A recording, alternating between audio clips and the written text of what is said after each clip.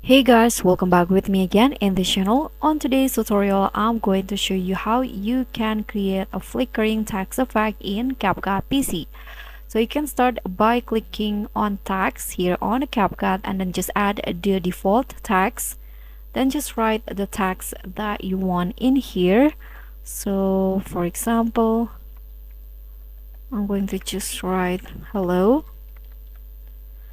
and after that you can set the font and also the uh, style to your liking. I'm going to just add okay sorry this one for example. And then here I'm going to make it bigger. You can change the color to how you like it. I'm going to go with red. And then find the glow effect. So let's scroll down and enable the glow here I'm going to choose the color white as the glow. Just the intensity.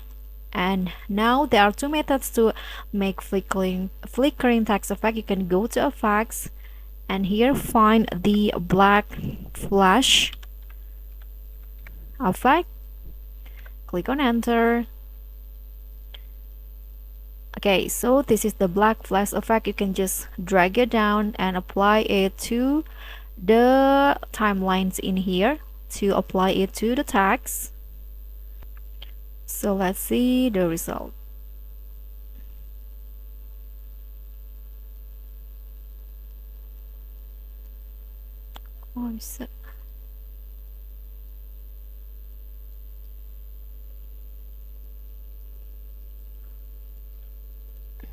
Okay, let's try to add a background to this let's see if it works.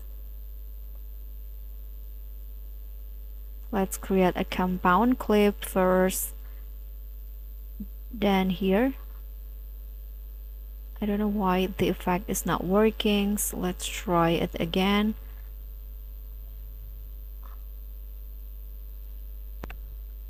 Okay so now it's working.